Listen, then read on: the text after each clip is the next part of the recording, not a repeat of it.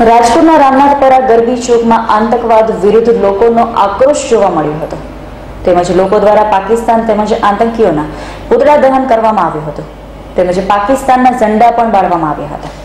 અહેવાલ વિજય મકવાણા.